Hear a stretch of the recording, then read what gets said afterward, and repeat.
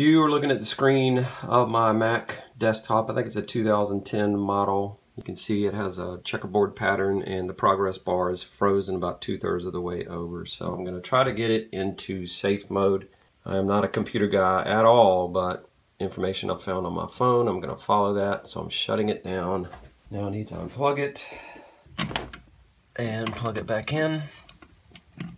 And now power it back up. And as soon as I hear the tone, wait 10 seconds, press and hold down the shift key and hope that this works. Hope that this allows me to get past this frozen progress bar and operate my computer in safe mode, whatever that is.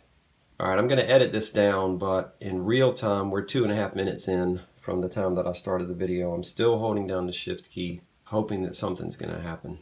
Six minute mark, still holding down the key. I rigged up a system to hold down the shift key at about the seven and a half minute mark. I'm gonna click the login, type in my password,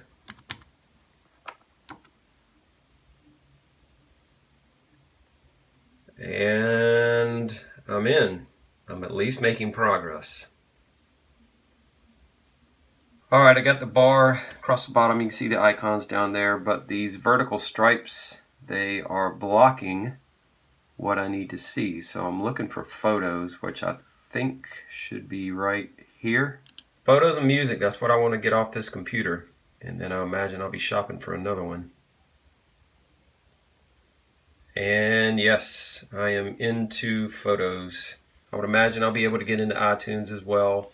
And I guess the point of the video is if you have that checkerboard screen pop up and you can't log on, then shut down your computer, unplug it, plug it back in, power it up. As soon as you hear the tone, wait about 10 seconds, press and hold down the shift key. Mine took about seven and a half minutes to give me the login screen where I could click on my username and then log in and then that allowed me to get in the computer. Obviously, it's not working properly, but I did get in to safe mode.